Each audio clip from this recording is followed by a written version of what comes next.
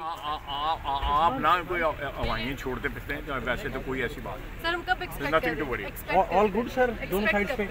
मैं तीसरी दफ़ा कह रहे हैं कि ऑल गुड सर तीन कोई साहब तो एक है बड़ा अहम है हैं जी? सर। तो रहे नहीं है हैं। सर। जी इंशाल्लाह ताला जी एक दो रोज में ये सारा काम जो है ना फाइनल है। आज आज शुरू हो गया प्रोसेस प्रोसेस इंशाल्लाह ताला ख़त्म हो जाएगा ज़्यादा देर नहीं लगेगी। आप आप लोगों को जो है एंगजाइटी नहीं होनी चाहिए।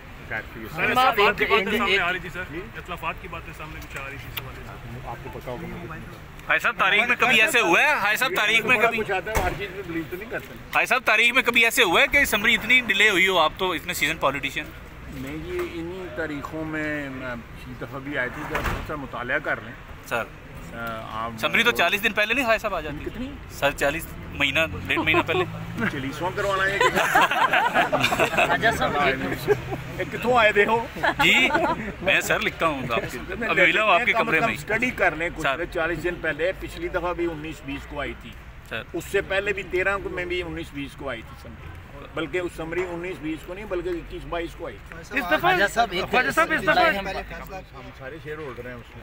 उसमें मीडिया भी शेयर होल्डर हैं उसमें फौज भी है उसमें सियासतदान भी है उसमें सब सब जो है ना सब मियाँ साहब टॉप बॉस एक साहब एक चुके कि ये सीन- बात एक खास मखसूस ग्रुप की जानिब से सोशल मीडिया पर यह कहा जा रहा है कि एक जर्नैल की उम्र के हवाले से उनकी रिटायरमेंट के दिन के हवाले से अदालत में मामला जा सकता है।